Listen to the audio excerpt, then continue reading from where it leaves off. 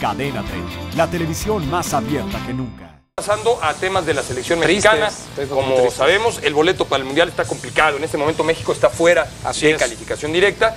¿Usted sabe cuánto dinero estaría perdiendo la Federación Mexicana de Fútbol si el tricolor no asiste al Mundial del 2014? La siguiente nota lo explica claramente.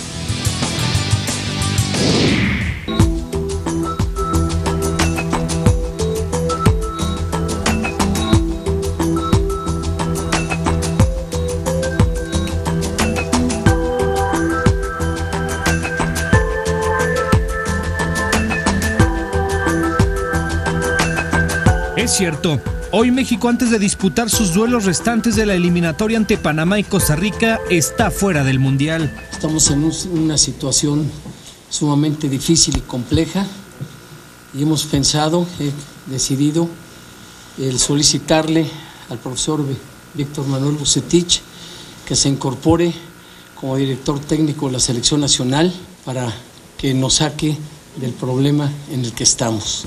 Las secuelas que dejaría la ausencia de México en Brasil serían desastrosas económicamente hablando.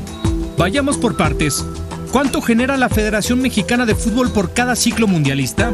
La respuesta es 250 millones de dólares, de los cuales 150 se utilizan para mantener a las diferentes categorías de selección nacional.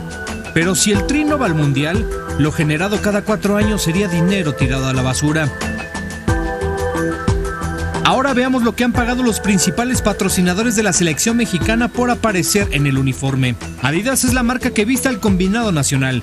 Firmó un contrato hasta el 2018 invirtiendo 80 millones de dólares.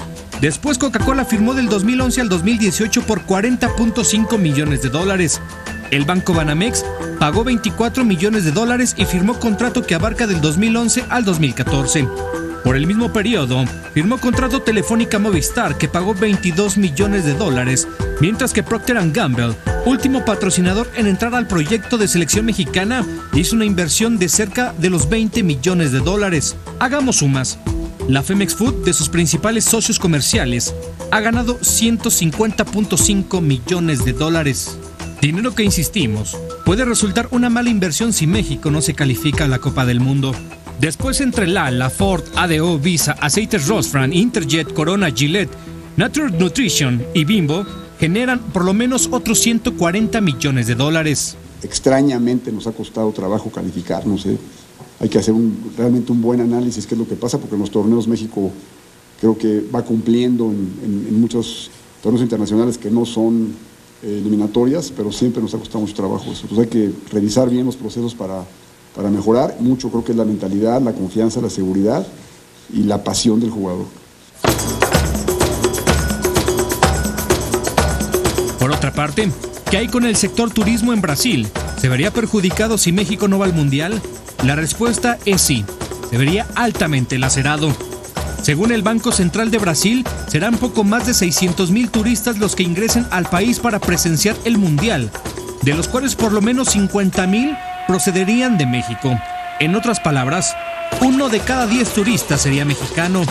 Y si nuestra selección no asiste a la justa mundialista, no ingresarían a Brasil 215 millones de dólares, es decir, cerca del 7.2% del total de la derrama económica que se espera recaudar. Pero sin duda una de las pérdidas más importantes y potenciales que tendría el fútbol mexicano en caso de que la selección no acuda a Brasil sería el prestigio ese que se había potencializado con la obtención de la medalla de oro olímpica en Londres y que actualmente está siendo maltratado. Ese prestigio que tanto trabajo ha costado en años anteriores reflejar al resto del mundo, hoy ya no tiene ni tendrá el mismo valor si el tricolor no está el próximo año en Brasil 2014, informó Christopher Rivera. Suscríbete a nuestro canal de YouTube y sigue toda la información de tu deporte y de tu equipo favorito. Empieza ahora dándole clic a estos videos.